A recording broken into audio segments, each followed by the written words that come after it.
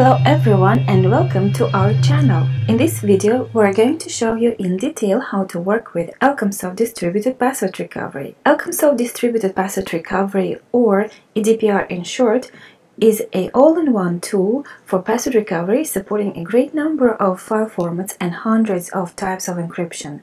Its GPU acceleration allows breaking passwords in reasonable time period. Moreover, you can even build a whole network of several computers where each one has multiple graphics cards of the same or different types of and models. Building such a multi-agent system will allow you boost your speed by hundreds or thousands times. We can evaluate password recovery speed using a single GPU NVIDIA 1080 by this benchmark. Program interface consists of EDPR server and EDPR agents. In the main window, you can see tab Task. Here, you will see your files to break and attacks that you can set and run against those files. In tab Agents, you will see uh, all connected agents. In order to add a new agent, you should know the IP of the server computer. To find it, you should press Win and R and enter command cmd in window run. In console, you should enter command ipconfig and check IP address. You should copy this IP to the agent in tab Server, field Host. If computers are connected via local network, you can add them by clicking on this button on the right. In tab Connection, in EDPR server, you can change ports if the default port is already busy. In tab Message, you can set alerts by email upon certain events. Tab Dictionaries if you select this option, will allow you to save already found passwords and automatically check them for all new encrypted files. Now let's proceed to EDPR agent and take a closer look at it. In tab About, we can see file formats and types of encryption, password recovery, speed per second, used CPU and GPUs, and general statistics.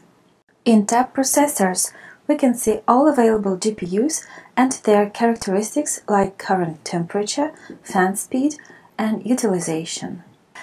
In the field number of threads, we can set number of CPU cores. The number should be equal or greater than the number of available graphics cards on this computer.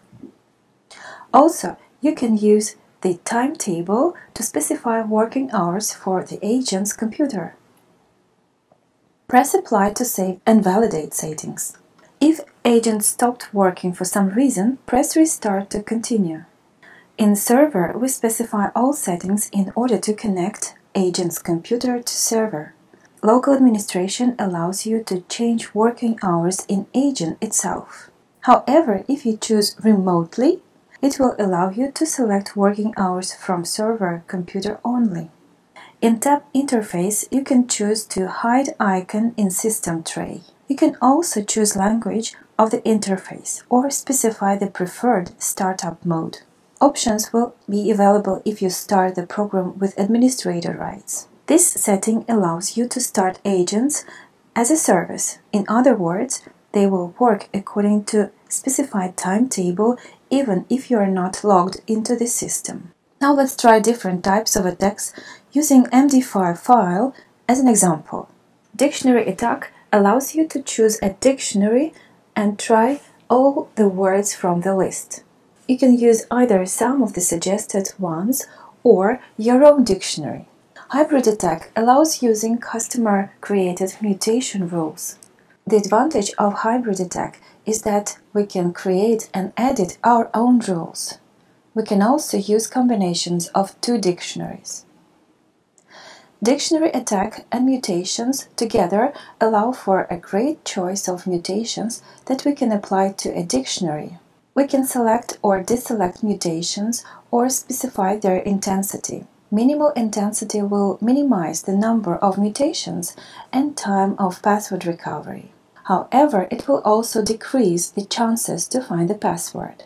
Maximal intensity will cover all possible variants but at the same time the attack will take longer. Preface mask adds a mask at the end and at the beginning of the dictionary word. All in all, there are 10 groups of symbols where each one can be set as numbers, uppercase or lowercase char special symbols or custom char set. It can be used when we don't need whole alphabet but just some particular symbols, characters or numbers, or when password contains letters of a foreign alphabet. Pure mask attack has all the same options with the difference that here we don't use dictionary at all. So the mask should be specified for the whole password. Brute force attack is the easiest to use. In this attack, we only choose the number of symbols in our password and set of characters that were supposedly used in our password. Let's try this attack now. We should do the settings and start the attack. Here we can see maximum time needed to find the password. Password recovery speed using all used agents. Progress and statistics. In agents, we can check information about agents, for example, efficiency or available GPUs.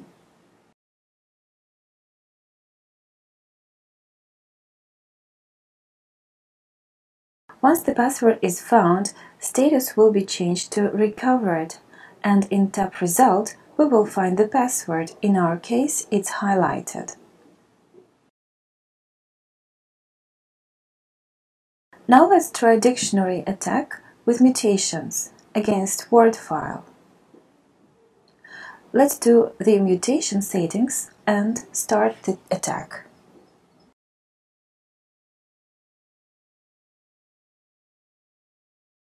The attack will take some time. I'm going to shortcut it in my video.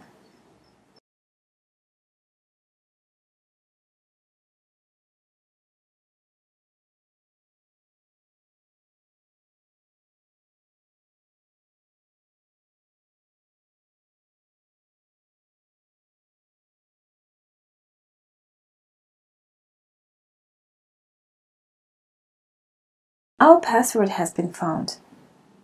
Now let's try mutation attack against var archive.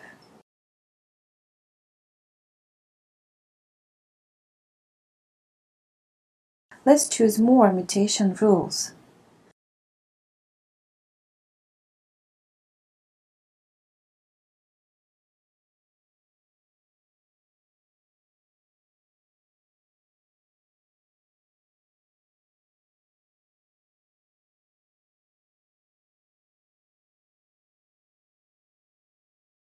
Despite the fact that we've chosen almost all mutations variants, high password recovery speed for var archives allows for quite fast recovery.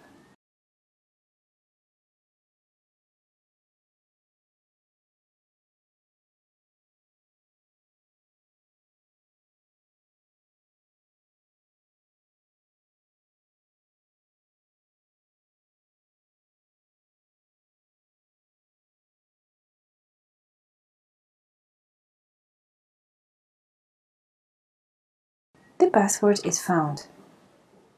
Now let's remove these files. Let's open a KeePass crypto container and run a preface mask attack against it. Let's choose a dictionary with first names, add one symbol from 0 to 9 as preface mask, and one symbol from all special symbols as ending mask. We need two groups for that. And press start. Recovery will take some time. You can compare recovery speeds in agent and in server.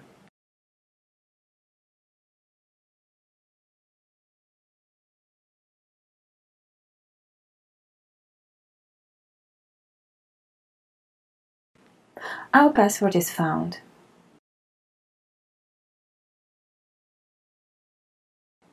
Now let's work with PDF file protected with 40-bit encryption.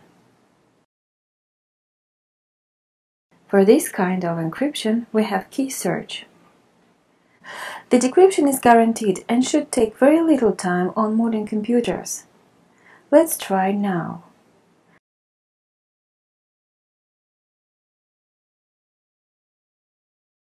The key has been found. Let's open the folder and the file. As we have seen, EDPR is a very flexible and powerful tool to open password-protected documents with different attacks. Thank you for watching our video and do not forget to subscribe to our channel.